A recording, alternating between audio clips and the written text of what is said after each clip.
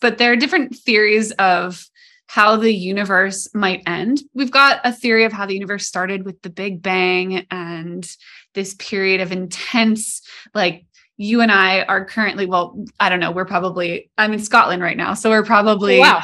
I don't No, know. I'm, in, I'm in Scott. I'm in Scottsdale. Scottsdale. Oh, fine. Okay. so I was going to say we're only like a foot apart, which is amazing that it feels like that. But um, no, we are we are many thousands of miles apart. But something thousands of miles apart at the beginning of the universe would now be billions of light years apart. So that happened at the beginning of the universe. We've got this insane period of, of expansion. We call it the Big Bang. And now we want to know what will happen at the end. And I think that's a different question of the theory of everything. That's like a the theory of everything like what is matter and how does it interact and what is dark matter and gravity is like one area of physics and then cosmology is like where did we come from? Where are we going? That is a really fascinating area of of thought and, and exploration and research to me is what's going to happen to the universe in the end. There are all these theories that it might just kind of continue on expanding forever. There's my favorite theory, which is that eventually it'll slow down in its expansion because the universe right now is expanding. You've probably heard. Yep. The universe is expanding, but maybe it'll slow down and come back together and bounce like it'll come back together and bounce and have another big bang and it, it may just keep doing that so that's where i've seen repeating patterns come into physics on the biggest scale would be that's my favorite and then of course there's the there's like the i don't know like the cold death of the universe or something where it just like expands and expands forever and then eventually there's no stars near us and everything's dark in the sky and it's very depressing so Yeah. Yeah. There's some- exactly. Like when my brain goes, there's no end. It goes far infinity. and then I'm like, but there has to be an end, but there's not. And what is it? And I, i know i know And that's where you've I mean, even if there was like a black hole that created a loop, even if time mm-hmm. bending creates like sort of like a bubble of a universe, what's beyond that bubble? And are there multiple universes? Is it a multiverse? And what's in between the multiverses? I don't know. I would love to know. That's one of the most, I think this is like, as a physicist, that's one of the most frustrating sort of barriers I get to mentally, where where if there if we have this bubble of a universe or something and there are other universes outside of it here's the sad fact. We will never know because by definition our universe is everything that we can contact we can get light from we can see we can learn from we can get like data from these stars billions of light years away. But if there's anything outside of it by definition we'll never know about it so that's where i'm like oh so Yeah. frustrating i want to know like when you reach the limit of what we possibly can know and you're like but but but why not Let's mm. talk about dimensions then. I mean, I was going to talk about quantum entanglement, but let's, do let's get into dimensions. Okay, so okay. we have sort of our our reality that we know of that we can touch and feel this third Yeah. dimension, which explain dimensions and then how many we have.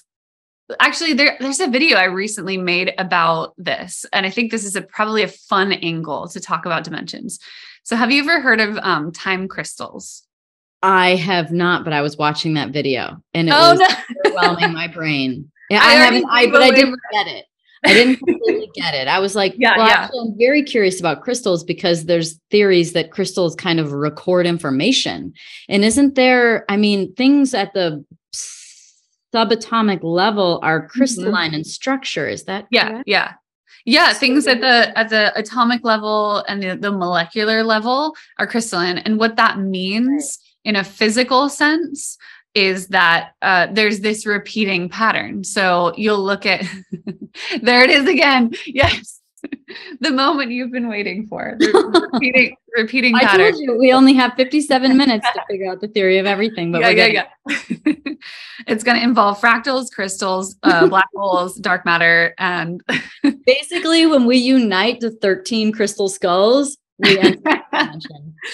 Thanos's crystal um, fist. Yes. I mean, Um, I have a lot didn't of tell you was there was a time crystal on the other fist. Uh, but no, what is a time crystal? Okay. Uh, Yeah. So, so crystals are this this uh, structure, um, this sort of material that has a repeating pattern. So, if you look with a very very strong microscope at a diamond, uh, you'll see this repeating pattern of carbon. Well, I think I remember seeing the when I, in the video, it's basically like a grid structure. exactly, yeah, and, and there are bonds at the at the grid points. There are bonds. Yeah, and there are there are mole- molecules between. So you'll get carbon, and then with different types of crystals like tanzanite and rubies, uh, you'll you'll have different kinds of like silicone and um, and nitrogen and other types of things that actually change the color.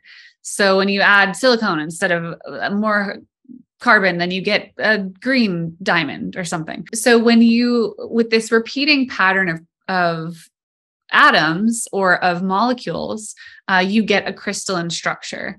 That's a repeating pattern in space. And so, um, what I asked my editor who I was talking to in that video was, How many dimensions are there? Like, how many do you know of? I kind of am very into the sort of spiritual woo woo world as well. Yeah. I'm pretty sure, I think they say 11 or 12 dimensions. a human experiential perspective, sure, but like from a physics perspective, is going to be such a different answer. So the dimensions from a physics perspective, the three dimensions of space, there are three, is Yep. you know, forward, backward, up and down, and side to side. But there's actually a fourth dimension of space time. So the fourth dimension is time. And so a, a professor, a Nobel laureate at MIT was like, what, what if, just bear with me, what if we had repeating structures in time? and that's where he lost me but he explained it as like you imagine this this very small system that just flips to a different state and then it flips back and then it flips like imagine i don't know maybe imagine a ring on your finger and the the gem just flips to the bottom and then it flips back to the top and it flips back to the bottom and it just does that automatically periodically in time he was imagining a system not as big as a ring but on a really small scale like the atomic scale as in the repeating atomic structure of crystals. He was imagining this repeating in time. And so I think it was a really creative way of thinking about dimensions and thinking about what you can do in space dimensions, but now doing it in time.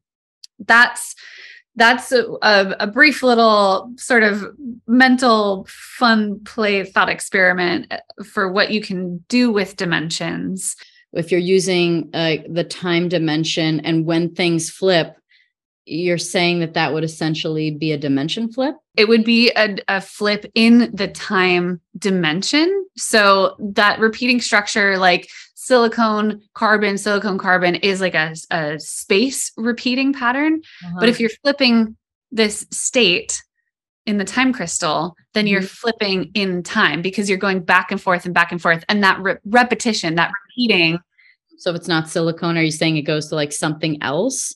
Yeah, the, the what they ended up making with a time crystal was like quantum atom they were electrons inside of a quantum computer. So nothing to do with silicone atoms nothing to do with a ring flipping up and down. It's something like we would never even be able to see it. It's so small and complicated. But they would consider a time crystal because it's this kind of system like a ring flipping up and down that repeats in time, repetition in time. And they called that a time crystal. It keeps And going. that- Exactly. Okay, got it. Okay, so it's not just it's just naturally repeating in a cycle. Yeah. And it and and why it was so special is that you sort of it doesn't take any energy to do that.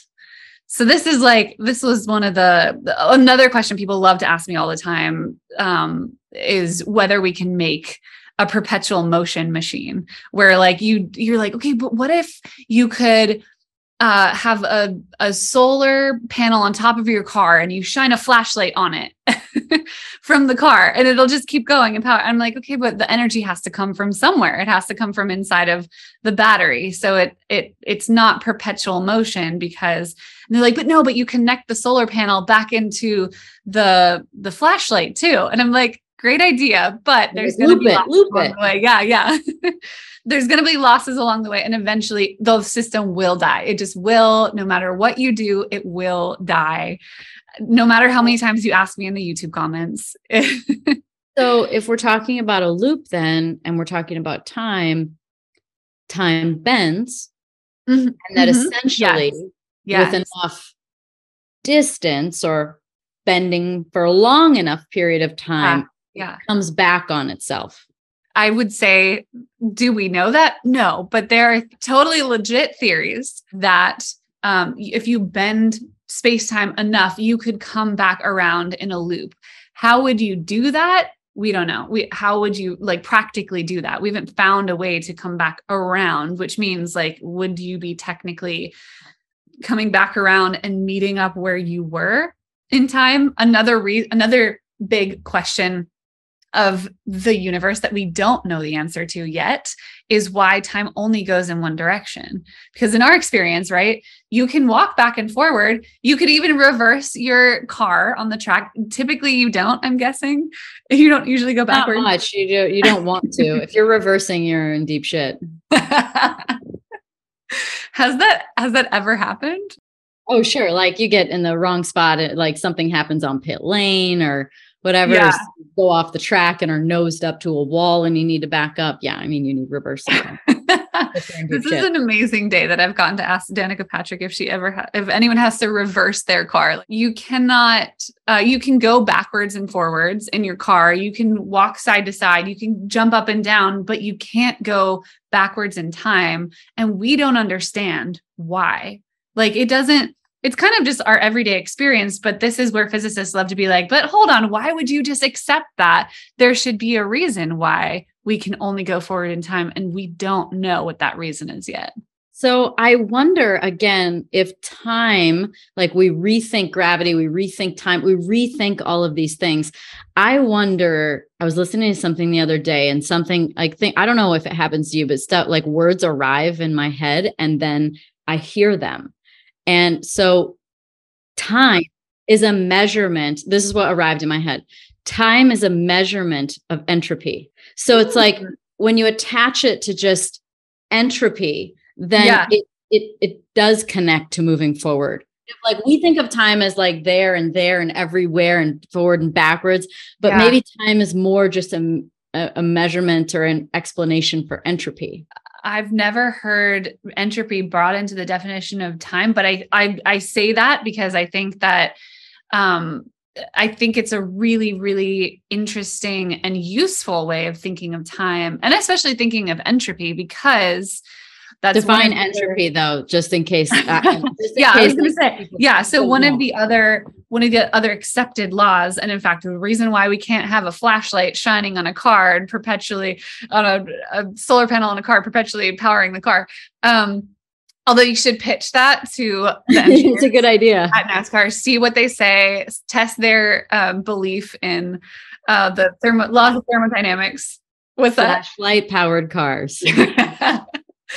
Be like, hear me out, but really, you're just testing them.